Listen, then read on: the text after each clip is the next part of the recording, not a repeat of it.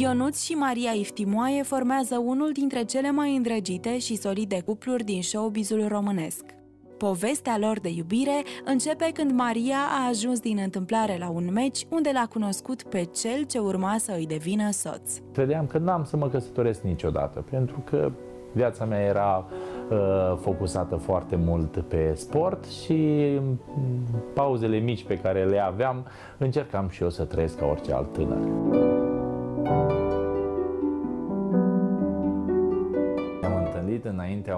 Unui meci era ceva inedit pentru mine, dar în același timp uh, foarte palpitant.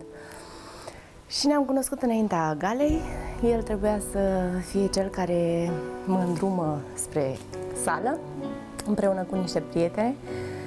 Și din momentul acela s-a declanșat un click.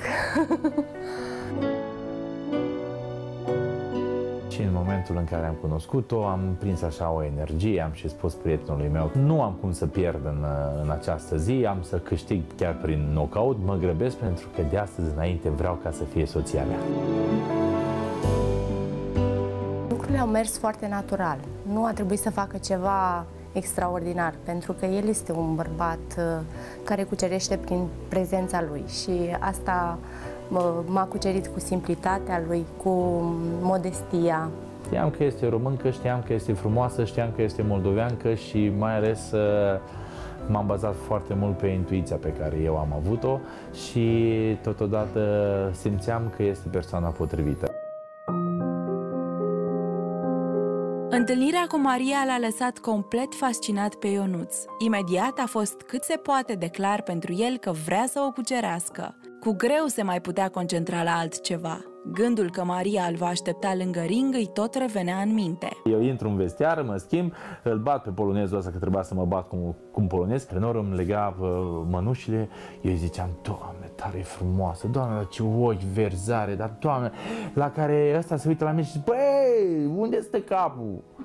tot la gagici, termină, zic, taci din gură, tare sunt îndrăgostit, nu am cum să pierd, deci o să câștig. Și abia aștept, zic, fii atent că de seara mergem în club, vii și tu cu mine pentru că trebuie să mă ajuți, deci nu trebuie să scap.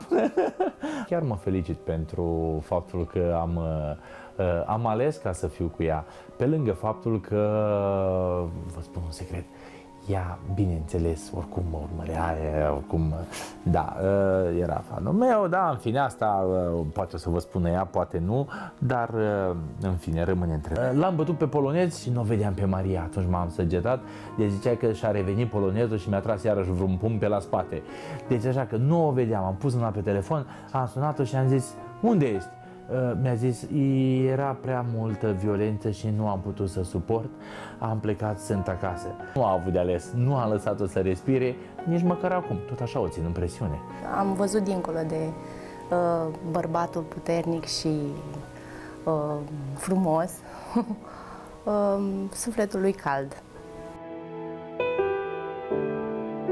După doar trei zile, Ionuț a realizat că nu vrea să o piardă și i-a propus să rămână împreună pentru totdeauna. A urmat una dintre cele mai inedite cereri în căsătorie întâlnite vreodată. Eu sunt un tip foarte uh, romantic. Am cerut-o de nevastă la trei zile după ce am cunoscut-o, așa că... Dacă vă imaginați că a fost uh, un moment foarte romantic, cu flori și inel, ei bine, nu a fost așa. Conduceam, eram în mașină, Uh, și s-a gândit el așa, să, să deschidă torpedou, să scoată de acolo un pistol pe care mi-l uh, îndreaptă așa spre mine și mă întreabă serios, vrei să fii soția mea? Zis, asta este o ofertă de care nu poți să o refuz niciodată. Imediat după țin minte că nu știam dacă eu aduc o glumă sau dacă să iau în serios sau nu, adică era...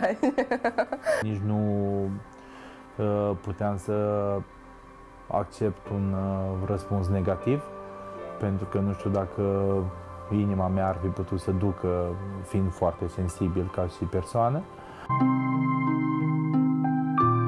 Era ceva deosebit între noi, pe care nu puteam nici eu să mi le explic și poate nici el. Nu știu ce l-a îndemnat să facă În fine. Și i-am și spus pe data de 26 august, atunci când de altfel este ziua mea de naștere, vreau ca să ne căsătorim. Am zis să fie de ziua mea să nu uit. Știi că bărbații au problema asta, uită. Ionuț și Maria și-au dat repede seama că fiecare dintre ei îl completează de minune pe celălalt, așa că s-au căsătorit și formează acum o familie cu adevărat împlinită. La Ionuț iubesc multe lucruri.